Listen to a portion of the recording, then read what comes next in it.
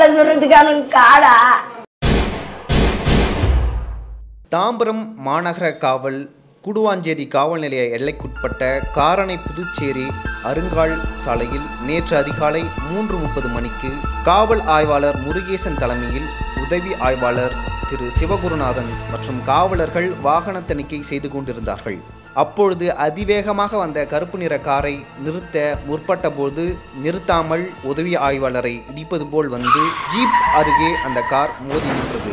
அப்பொழுது அதிலிருந்து நான்கு நபர்கள் ஆயுதங்களுடன் காரை விட்டு இறங்கி போலீசாரை தாக்க முற்பட்டனர். இதனால் காவல்துறையினர் தற்காப்புக்காக இருவர் மீது துப்பாக்கி சூடு நடத்தியதாகவும் அதில் அவர்கள் இறந்ததாகவும் நேற்றைய தினம் தொலைக்காட்சி மற்றும் பத்திரிகைகளில் செய்தி வெளியானது. இது தொடர்பாக கொலை செய்யப்பட்ட ஒருவரின் தரப்பிலிருந்து பேசியவர் இந்த என்கவுண்டர் தொடர்பாக பல அதிர்ச்சி தரும் தகவல்களை நம்மிடம் தெரிவித்தார். அவர் கூறிய தகவல்களை பற்றி விசாரிக்க சுட்டுக் கொல்லப்பட்டவரின் வீட்டிற்கே நமது குழுவுடன் சென்றோம். நம்மிடம் தொடர்பு கண்ட அந்த நபர் தாம்பரம் சனட்டோரியம் நீதிமன்ற வளாகத்திலே சந்திக்கலாம் என்று கூறினார். சுட்டுக் கொல்லப்பட்ட சோட்டா வினோத்தின் சகோதரர் நம்மிடம் பேசினார். அவர் பேசும்பொழுது என்கவுண்டர் போடும் அளவுக்கு என் தம்பி அவ்வளவு பெரிய ஆள் இல்லை எனவும் இரண்டாயிரத்தி பதினைந்தில் ஒரு கொலை வழக்கில் கைது செய்யப்பட்டதாகவும் அதன் பிறகு ஜாமீனில் வெளிவந்ததாகவும் கூறினார். இறந்தவர் வந்து என் தம்பி. ஓகேங்களா? ரெண்டாயிரத்தி பதினஞ்சில் கவுன்சிலரை வெட்டினான். அது இன்னும் உண்மை தான் அதிலிருந்து அவனை பேசிக்காகவே பார்த்தோன்னா அந்த பண்ணுற ப்ராப்ளம் வந்து மேலும் மேலும் சிறு சிறு தவறுலாம் செஞ்சுட்டு தான் இருக்கான். இருந்திருக்கான். இல்லைன்னு சொல்லலை. ஆனாலும் இவனுக்கு அவர் வெட்டினதால அவர் இறந்துட்டார் அவர்? ஆ இறந்துட்டாரு. அந்த ஒரு இதுதான் கேஸ் மெயின்லி பார்த்தோன்னா ஃபஸ்ட்டு அதுலேருந்து தான் இவங்க போலீஸ் கொடுக்குற இதுவில் தான் கொஞ்சம் கொஞ்சம் ப்ரெஷர் ஏறி அவன் சின்ன சின்ன இது தான் பண்ணிட்டு இருக்கான். இது வரைக்கும் எனக்கு தெரிஞ்சு. அவனை ஆனால் என்கவுண்டர் பண்ணுற அளவுக்கு அவன் ஒரு பெரிய இதுவே கிடையாது. உங்கள் தம்பி மீது ஐம்பதுக்கும் மேற்பட்ட வழக்குகள் உள்ளதாக பத்திரிகைகளில் செய்தி வருகின்றது என கேட்டபொழுது அதெல்லாம் பொய் அப்படியெல்லாம் கிடையாது என்று கூறினார். இப்போ உங்கள் தம்பி மேலே ஏற்கனவே வழக்குகள்லாம் இருக்கும் சொல்கிறாங்களே என்ன மாதிரியான வழக்குகள் அது? இன்னும் ஒரு அஞ்சு வழக்கு இருக்கலாம். அஞ்சு வழக்கு இருக்கலாம். ஆனால் ஐம்பது வழக்குன்றது ரொம்ப அதிகம்.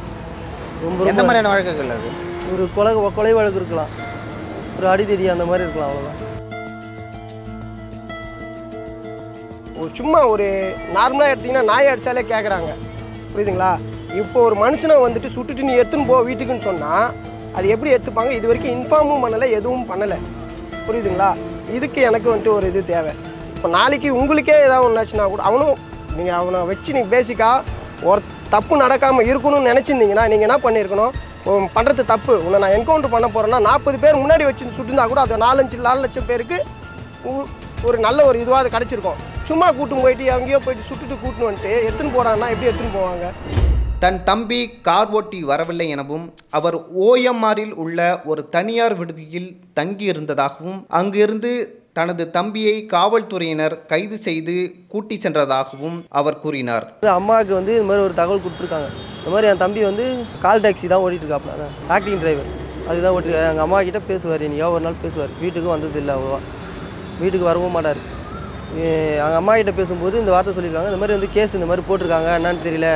என் மேலே இந்த மாதிரி பொய் கேஸாக போட்டுருக்காங்கம்மா. என்னால் முடியல. நானே சரண்டர் ஆக போகிறேன் அப்படி தான் வந்து போன வார்த்தை ஏதோ பேசியிருந்தார் ஆனால் இப்போ என்னன்னா அந்த ஹோட்டல்லேருந்து எங்கேயோ பிடிச்சிட்டு வந்து இந்த மாதிரி கொண்டுட்டாங்க அப்படின்ற மாதிரி தகவல். இப்போ ஹோட்டல்லேருந்து அரெஸ்ட் பண்ணும்பொழுது வந்து உங்கள்கிட்ட இன்ஃபார்ம் பண்ணாங்களா?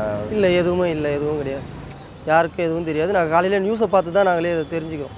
அதுக்கு முன்னாடி வரைக்கும் போலீஸ் கஸ்டடியில் தான் அவர் இருக்காருன்னு தெரியாது உங்களுக்கு. அது எதுவும் தெரியாது. நாவலூரில் இருந்தேன்னு சொல்லிட்டு இபி ஐபிஎஸ்ன்னு சொல்லிட்டு ஒரு ஹோட்டலில் தங்கியிருந்துருக்காப்புல. அங்கேருந்து பிடிச்சி கூட்டிகிட்டு வந்திருக்காங்க. கூட்டிகிட்டு வந்து காரண புதுச்சேரின்ற ஒரு இடத்துல வச்சு இறக்கிட்டு நீங்கள் போடான்னு சொல்லி இது பண்ணியிருக்காங்க. அங்கேருந்து போடான்னு இறங்கி போன்னு சொன்னதுக்கப்புறமா என்கவுண்டர் பண்ண மாதிரி எனக்கு ஒரு இது. ஆனால் இதுவே வந்துட்டு எனக்கு எட்டு மணிக்கு தான் இவங்க என்கவுண்டர் பண்ணுன்றது எனக்கு நியூஸில் பார்த்தா எனக்கும் தெரியும். மற்றபடி எனக்கு தெரியும். ஆனால் என்கவுண்டர் பண்ணுற அளவுக்கு அவன் ரவுடியா? எதுக்கு உங்கள் தம்பி ஹோட்டல் போனார்? என்ன காரணம்? இல்லை அவருக்கு வந்து அவர் வந்து வீட்டுக்கு வரமாட்டார். வீட்டுக்கு வர்றதுனால வந்து எங்கள் எங்களோட பிரச்சனையும் அதிகமாகுது.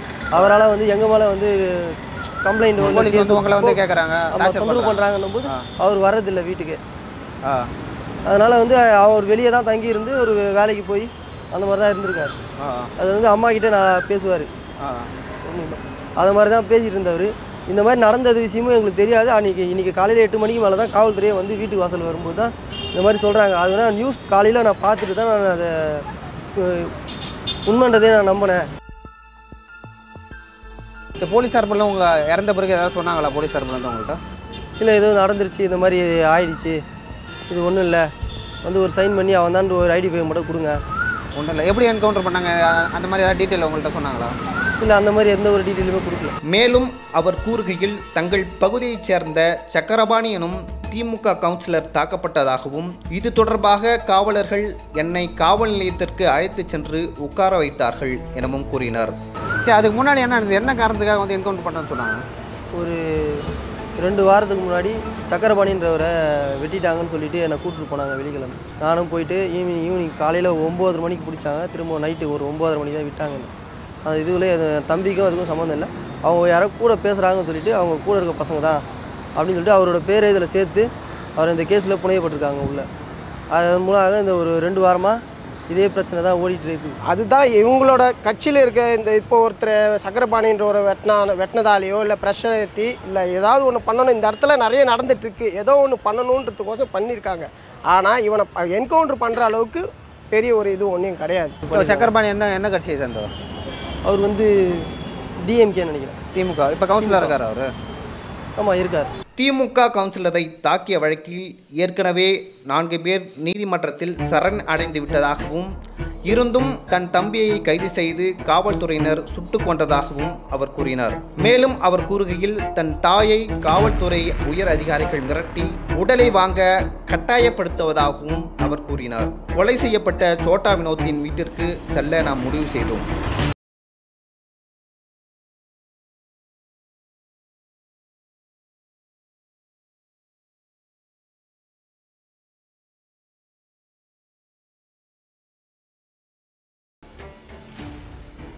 செல்லும் வழியெங்கும் பல்வேறு இடங்களில் காவல்துறையினர் குவிக்கப்பட்டிருந்தனர்.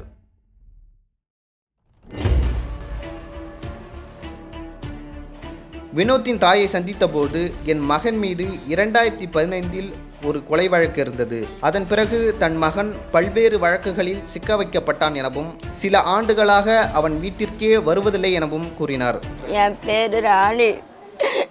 பையன் பேரு வினோத்து. போலீஸ்காரனுக்கு ரெண்டாயிரத்தி பதினாறுல ஏதோ நடந்துச்சுன்னு சொல்லிட்டு சொல்லி அவனுக்கு அரெஸ்ட் பண்ணிட்டாங்க. அரெஸ்ட் பண்ணி எப்போ பார்த்தாலும் அந்த கேஸ்லேருந்து என் பிள்ளையை வந்து கூட்டின்னு போய் இல்லாத பொல்லாத கேஸெல்லாம் போடுவாங்க. என் பிள்ளைய திருச்சி தான் நான் நல்லபடியாக வாழ வச்சேன். வெளியில் வேலைக்கு போனான் நிம்மதியாக இருந்தான் இங்கே யாரோ இப்போ கவுன்சிலரை போன வாரம் ஏதோ பசங்க யாரோ செஞ்சுட்டு என் பிள்ளை பேரில் போட்டு இன்னைக்கு எங்கேயோ தங்கி இந்த புள்ளைய கூட்டிட்டு வந்து சரியில்ல. என் புள்ளைய எனக்கு உண்டு சொல்லிட்டாங்க? இது யாரோ சதி பண்ணிட்டாங்க என் பிள்ளைய. பண்ணி போலீஸ்காரங்க. செத்ததுக்கு அப்புறம் தானே நான் நியூஸில் பார்த்து சொல்ல என்கிட்ட ஒப்படைக்கணுமே? என் புள்ளைய சொல்லணும்ல சொல்லலையே? என் புள்ளைய சொல்லலையே? நான் என் குழந்தை திருத்தி இருந்த குழந்தைய. எப்போ போலீஸ் உங்கள்கிட்ட சொன்னாங்க? என் போலீஸ் வந்து சொல்ல நான் நியூஸை பார்த்து தான். நான் நியூஸை பார்த்து தான் தெரிஞ்சுக்கிட்டேன்.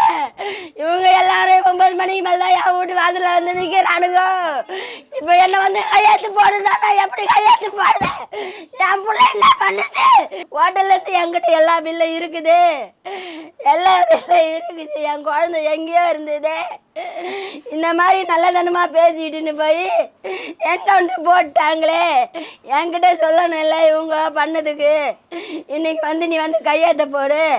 நீ வாங்கின்னு போன்றாங்களே. என் பிள்ளைக்கு ஒரு நீதி வேணுமே. எனக்கு நீதி வேணும் ஐயா. இப்போ இப்போ கடைசியாக பிடிச்சிட்டு போன கேஸ் என்ன கேஸ் ஏன் பிடிச்சிட்டு போனாங்க? எது சும்மாவே பிடிச்சிட்டு போயிடுவாங்கப்பா. அங்கே ஆச்சு இங்கே ஆச்சுன்னு எங்கே நடந்தாலும் என் வீட்டுக்கு வந்துடுவாங்க என் புள்ளைய ரெண்டாவது புள்ளையும் தேடிட்டுன்னு போயிடுவானுங்க. சும்மாவே கேஸை போட்டுருவானுங்க அவனுங்க. என்னால் தாங்க முடியாமல் என் வீட்டுக்காரன் வேற இட்டுன்னு போய் அழகாடி மனநோய்க்கு ஆளாயிட்டாருப்பா இருக்கிற இன்னொரு குழந்தைய வாழ விடல. அடிக்கடி அவனை தேடுறேன் அவனை தேடுறேன் அவனை தேடுறேன்னு என்ன வந்து கூட்டு போடுவானுங்க. என் வந்து கூட்டு போடுவாங்க. என் ரெண்டாவது பிள்ளைய கூட்டின்னு விடுவானுங்க. இல்லையா என் பெரிய மருமலை இட்டுன்னு வாண்டுவானுங்க யாரை வேணாலும் இட்டுன்னு வான்னு வானுங்க அவங்க சொன்னது தான் சட்டம். அவங்க வச்சது தான் சட்டம். இன்னொரு டைம் இந்த மாதிரி எனக்கு எது யாருக்கு நடக்கக்கூடாது. இப்போ உங்க உங்க- உங்க பையன் மேல எத்தனை கேஸ் இருக்கு? பேசவே கிடையாது சாமி. அவங்க சொல்றது தான் சாமி. அவங்க ஒரு கேஸுன்னா கூட அவங்க பத்து கேஸ் செட் பண்ணி போடுவாங்க. இன்னைக்கு என் பிள்ளைய எத்தனை கேஸ் வச்சு போட்டுக்கிறாங்க? ஐயோ நாங்களே உன் பிள்ளை எங்கன்னு? ஐயா சாமி என் பிள்ளை எங்க வெளியில வேலை செஞ்சுன்னு நல்லபடியா இருக்கிறான் நீ ஏன் அவனை தேடுறீங்க? அப்படின்னு சொல்றேனே. இதுக்கு இந்த மாதிரி சொல்லிட்டு இந்த மாதிரி பண்ணிடுவாங்களா? என் குடும்பத்தை நாதார ஆக்கிடுவாங்களா? பத்து பதினைந்து கொலைகள் செய்தவர்கள் எல்லாம் ஊரில் சுற்றி கொண்டிருக்கிறார்கள். பணம் இருப்பவர்களுக்கு ஒரு நியாயம் பணம் இல்லாதவர்களுக்கு ஒரு நியாயமா என்று வினோத்தின் தாய் நம்மிடம் பார்த்து கேட்டார். வீட்டுல வந்து உங்களை கேட்பாங்க உங்க சின்ன பையனை கேட்பாங்களா? என் சின்ன பையனை கேட்டு எங்களை டார்ச்சல் பண்ணுவாங்க சார். என் சின்ன பையன் எங்கேயோ இருப்பான். கண்ணுக்கு தெரியாத தேசம் எங்கனா தான் இருக்கும். அது நல்லபடியாக தான் இருக்கும். ஆனால் இவங்க பண்ணுறது தான் பெரும் டார்ச்சல் நிம்மதியாக இருந்தாலும் விட மாட்டேன்றானுங்கோ. எங்கனா இருந்தாலும் என் குழந்தை எங்கே இருந்தாலும் கூடுன்னு போயிடுவானுங்கோ. காவல்துறையினர் வந்து உங்ககிட்ட என்ன கேட்கறாங்க கையெழுத்து போடுன்னு சொல்றாங்களா? கையெழுத்து போடு. வந்து அந்த அடையாளம் காட்டு. கையெழுத்து போடு வா. உனக்கு என்ன நல்லா தானே உக்காந்துங்கிற? வா வான்றாங்களே. என் பிள்ளை என்ன தப்பு செஞ்சான்? அந்த தப்பை சொல்லுங்க. என் தப்பு செஞ்சிருந்தானா அவனுக்கு அதுக்கேற்ற தண்டனை கொடுக்கல. என் தப்பே செய்யலையே நீ என்ன தண்டனை கொடுக்குறது? கோர்ட்டில் எடுத்து போய் நிறுத்து. அவங்க தண்டனை கொடுக்கட்டும். நீங்கள் எதுக்கு பண்ணீங்க? என் பிள்ளை தப்பு பண்ணானா? நீங்கள் தண்டனை கொடுக்கறதுக்கு. சொல்லுங்க. எதுக்கு ஒரு நியாயத்தை சொல்லுங்க. என் பிள்ளை தப்பு பண்ணானா? சொல்லுங்க. என்கவுண்டர் போகிறதுக்கு என் பிள்ளை தப்பு பண்ணியிருந்தானா சொல்லுங்கள் நீங்கள் உங்கள் விஷயத்துக்கு பணத்தை வாங்கிக்கின்னு இவனை கவுன்சிலரை கைது பண்ணான்னு சொல்லிட்டு எவனோ பண்ணதுக்கு என் பிள்ளைய திட்டம் போட்டு போட்டுட்டாங்களே. சதி பண்ணிட்டானுங்களே எல்லாரும் சேர்ந்து. ரெண்டாவது புள்ளையும் கொண்டு போயிடுவாங்க. அந்த ஒரு கேஸ் தான்ப்பா இருக்கும். அந்த ஒரு கேஸுக்கு தான்ப்பா இவங்க இட்டுன்னு போய் இட்டுன்னு போய் இட்டுன்னு போய் கேஸை போட்டுருவாங்க. உன் பிள்ளை இதை பண்ணா அதை பண்ணா நீ வந்து ஜாமீன் எடு. நீ ரத்தம் சொல்லிட்டு கூட வானுங்களே நான் சொல்லுவேனே என் பிள்ளை என்ன தப்பு பண்ணுச்சு நாங்கள் ஏன் கொடுக்குறோம்? சரி நாங்கள் கொடுத்தாலும் எங்கள் வீடு தேடி வரியே நாங்கள் கொடுக்க மாட்டோன்னு சொன்னாலும் நீங்கள் தான் கொடுக்கணும். ரத்தம் சொல்லிட்டு நீங்கள் தான் கொடுக்கணும்னு வாங்களே என் புள்ள தப்பு பண்ணாது. என் தப்பு பண்ணாத பிள்ளைய அப்பா அப்பா இட்டுன்னு பாருன்றீங்களே நான் எங்கே இருந்தாலும் பிடிச்சிருவோம் எங்கே இருந்தாலும் இது பண்ணுவோம். பணக்க பணம் இருக்கிறவனுக்கு ஒரு ஆட்சி. பணம் இல்லாதவனுக்கு ஒரு ஆட்சியா? பணம் இருக்கிறவன் பத்து வருஷம் கூட வெளியில் இருக்கிறானே. பத்து கொலை பண்ணிட்டு வெளியே இருக்கிறானே. என் பிள்ளை ஒரு கொலை தானே பண்ணிச்சு. எப்பயோ அது பிள்ளைங்க கூட சேர்ந்து பண்ணிச்சுன்னு சொல்லத்தான் கேள்வி. என் பிள்ளைய நான் பார்க்கல. என் பிள்ளைய பார்க்கலப்பா. முத முத என் பிள்ளைய நான் பார்க்கல சொன்னதுதான் கேள்வி. அன்னிலேருந்து இன்ன வரைக்கும் எங்களை வாழ விடல ராஜா. எங்களை வாழ விடலப்பா. ஓஎம்ஆர் ஹோட்டலில் பிடிச்சி அரெஸ்ட் பண்ணாங்களே ஒன்றும் எங்ககிட்ட சொல்லணும். ஓஎம்ஆரில் பிடிச்சின்னு வந்துட்டு காரணபுச்சாரி காட்டில். என் புள்ள காரில் இட்டுன்னு வந்து அவங்க காரம் காரம் காரில் பிடிச்சா என்ன கத்தியால வெட்ட வந்தான் அவன் சுட வந்தான்னு போய் சொல்லி என்கவுண்டர் காட்டில் தந்து போட்டாங்கப்பா என் பிள்ளைக்கு நீதி வேணும்பா. என் பிள்ளைக்கு நீதி வேணும். எங்க பிடிச்சி எங்க தந்து காட்டில் சுடுறதுக்கு அவனுக்கு காடா? என் பிள்ளைய காட்டில் கத்தியை தந்து வெட்டானா வந்தான் சுட்ட வந்தான் குத்த வந்தான்றானுங்களே என் பிள்ளைய இந்த மாதிரி பண்ணிட்டானுங்களே. நான் இப்படி பண்ணிட்டானுங்களப்பா? எங்கள் ஹோட்டலில் பிடிச்சிட்டு வந்து இவ்வளோ நேரம் காட்டில் ஹோட்டல் வெட்டி பிடிச்சி விட்டுட்டானுங்களே.